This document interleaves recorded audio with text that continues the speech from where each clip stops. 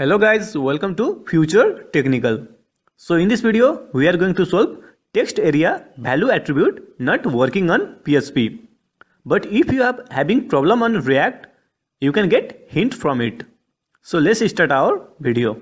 So I am inside my code editor and here you can see I have used text area element and like input element I have given value attribute that will give me default value but in my browser you can see I am not getting the default value of text area.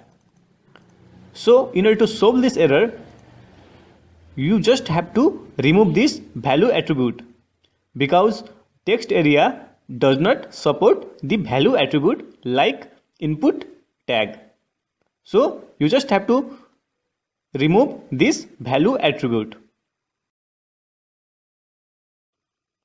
So in my case, I am using PHP. So if you want to add value that will hold default value every time, then you just have to paste it inside text area tag.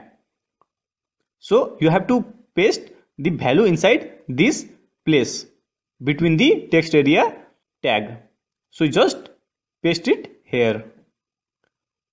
So this is basically fetching database data by using PHP. So if you are using React, you just have to paste the variable inside this tag so that it will hold the default value of text area. So after that, just save it. And after saving, just open your browser and refresh the browser. And now you can see I have got the default value of text area and it has been fetched from database. Thanks for watching and please help me to get 1k subscriber.